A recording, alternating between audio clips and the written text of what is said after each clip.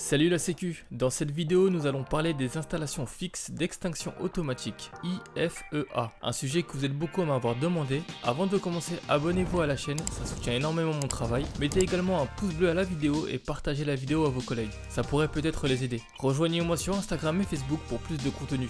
Ne perdons pas plus de temps et commençons par la définition d'une IFEA. L'installation fixe d'extinction automatique est une réserve de produits extincteurs appropriés au risque en quantité suffisante qui peut combattre un début d'incendie sans intervention humaine. Maintenant que nous avons la définition d'une IFEA, voyons voir quel est le rôle de l'extinction automatique. Une installation d'extinction automatique à eau est aussi appelée sprinkler. Elle peut être imposée dans tout ou partie d'un bâtiment pour ne pas laisser l'incendie se développer dans un volume à fort potentiel calorifique et long à évacuer. Lorsque l'alimentation par le réseau public est insuffisante, des réservoirs et surpresseurs doivent permettre le fonctionnement pendant au moins une heure. Voyons ensemble les types d'IFEA. Nous avons les IFEA à eau, IFEA à gaz et IFEA à poudre. On trouve rarement en ERP et en IGH. Dans cette vidéo, je vais vous présenter seulement l'installation fixe d'extinction automatique eau. Je ferai d'autres vidéos pour parler des autres. Le rôle d'une IFEA à eau est de déceler un foyer d'incendie, de déclencher une alarme et d'éteindre ou de contenir un début d'incendie. Le principe de fonctionnement. Les têtes sprinklers sont fixées sur une tuyauterie et sont munies de fusibles ou ampoules se rompant sous l'effet de la chaleur. Lors d'une baisse de pression, le réseau se met en alarme. L'alarme est donnée via une cloche d'alarme, placée à chaque poste de contrôle et par report visuel et sonore sur la centrale sprinkler au PC sécurité.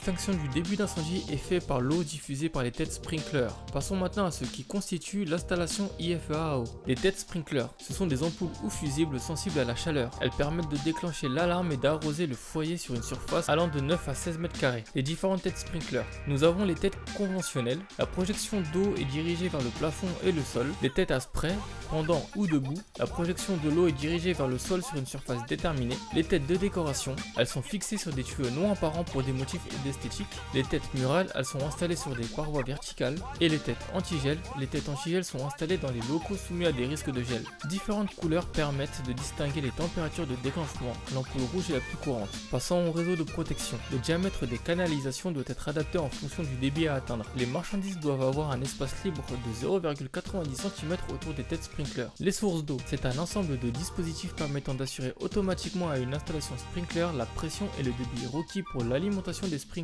dans la zone la plus défavorisée pendant une heure au moins. Les différentes sources d'eau peuvent être l'eau de ville, les réservoirs élevés et les bacs de pression. Le volume des réserves d'eau varie selon les types d'installation. Nous avons les pompes, elles permettent d'assurer la pression et les débits nécessaires. Il existe trois types de pompes.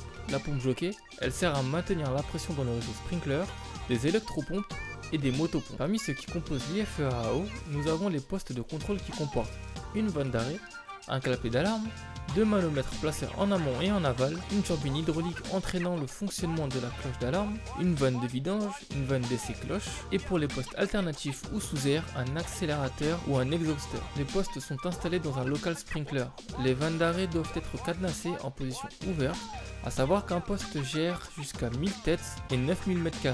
Passons aux différents types d'installations. Les installations sous eau, elles sont sous pression d'eau en permanence. Les installations sous air, elles sont sous pression d'air dû au risque de gel. Les installations alternatives, ce sont les installations sous air en hiver et sous eau en été. Les installations à préaction, une installation sprinkler à préaction est un type particulier d'installation sous air. Elle permet d'éviter l'arrosage d'une zone en cas de défaut dans l'installation. Les installations déluge, elles sont équipées de sprinklers ouverts. L'envahissement de l'eau est condamné soit par un système de détection incendie, soit manuellement par une tête pilote. Et pour finir, l'installation anti-gel. Le rôle d'un poste de contrôle. Le rôle d'un poste de contrôle est de donner l'alarme, couper le débit d'eau et de permettre de vidanger l'installation. Les sources d'alimentation. La source A est actionnée par une pompe électrique. Elle est faite pour alimenter 5 têtes sprinkler les plus défavorisées pendant 30 minutes. La source B, quant à elle, est dite inépuisable. Elle est calculée pour fonctionner de 30 minutes à 1h30 en fonction du risque sur une surface impliquée. Elle est actionnée par une pompe thermique. La pompe jockey, c'est une pompe électrique de faible débit qui permet de compenser les petites fuites. Le surpresseur, il maintient la pression à 8 bars dans les canalisations avant le clapet.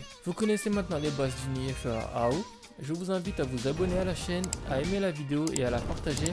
N'oubliez pas de me rejoindre sur Instagram et sur Facebook et pour suivre toute l'actualité de Salut la Sécu, je vous invite également à rejoindre le site internet salutlasécu.fr. Je vous dis à très bientôt, salut la Sécu.